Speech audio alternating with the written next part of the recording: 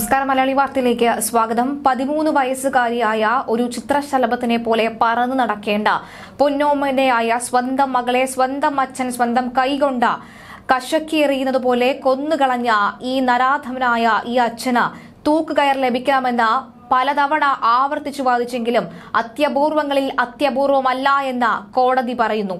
പതിമൂന്ന് വയസ്സുകാരിയായ മകൾ വൈകിയെ പുഴയിൽ തള്ളിക്കൊലപ്പെടുത്തിയ കേസിൽ പ്രതിയായ പിതാവ് സനു മോഹന ജീവപര്യന്തം തടവിന് ശിക്ഷ വിധിച്ച കോടതി. എറണാകുളം പോക്സോ കോടതി ജഡ്ജി കെ സോമനാണ് വിധി പുറപ്പെടുവിച്ചത്. കഴിഞ്ഞ ആഴ്ചയിൽ എല്ലാവർക്കും ഓർമ്മയുണ്ടാകും അസ്വാ കാലത്തിന് ആലുവയിൽ ആറു വയസ്സുകാരിയെ പീഡിപ്പിച്ച് കൊലപ്പെടുത്തിയ അസ്വാ കാലത്തിന് തൂക്കുകയർ നൽകിയ അതേ കോടതി അതേ വധശിക്ഷ നൽകിയ അതേ കോടതി തന്നെയാണ് ഇന്ന് ഈ പതിനൊന്ന് വയസ്സുകാരിയെ കൊലപ്പെടുത്തിയ അച്ഛന് ഇത്തരത്തിൽ ജീവപര്യന്തം ശിക്ഷ നൽകിയിട്ടുള്ളത് ഇരുപത്തിയെട്ട് വർഷം കഠിന തടവാണ് ഇപ്പോൾ നൽകിയിട്ടുള്ളത്. സനു മോഹൻ കുറ്റക്കാരനെന്ന് കോടതി കണ്ടെത്തിയിരിക്കുന്നു. ഇയാൾക്കെതിരെ ചുമത്തിയ എല്ലാ കുറ്റങ്ങളും തെളിഞ്ഞു. കൊലപാതകം തട്ടിക്കൊണ്ടുപോകൽ തടഞ്ഞുവെക്കൽ ലഹരിക്കടിക്കും അടിമയാക്കൽ ബാലനീതി വകുപ്പ് പ്രകാരമുള്ള കുറ്റങ്ങൾ തുടങ്ങിയവയാണ് പ്രതിക്കെതിരെ ചുമത്തിയിട്ടുള്ളത്.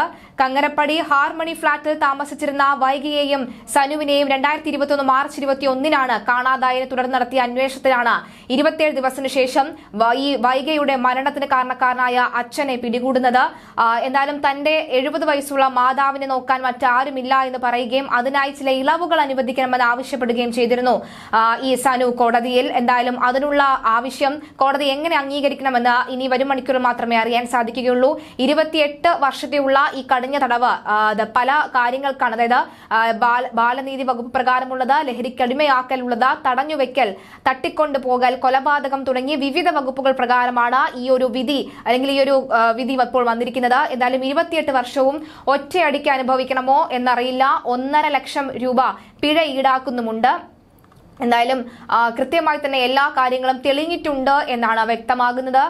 കങ്ങരപ്പടി ഹാർമണി ഫ്ളാറ്റിൽ താമസിച്ചിരുന്ന വൈഗയെയും സനുവിനെയും രണ്ടായിരത്തി ഇരുപത്തൊന്ന് മാർച്ച് ഇരുപത്തിയൊന്നിനാണ് കാണാതായതിനെ തുടർന്നാണ് അന്വേഷണത്തിൽ വൈഗയുടെ മൃതദേഹം പിറ്റേന്ന് മുട്ടാർ പുഴയിൽ കണ്ടെത്തുകയായിരുന്നു. എന്തായാലും കൃത്യമായി തന്നെ എല്ലാ കാര്യങ്ങളും തെളിഞ്ഞിരിക്കുന്നു.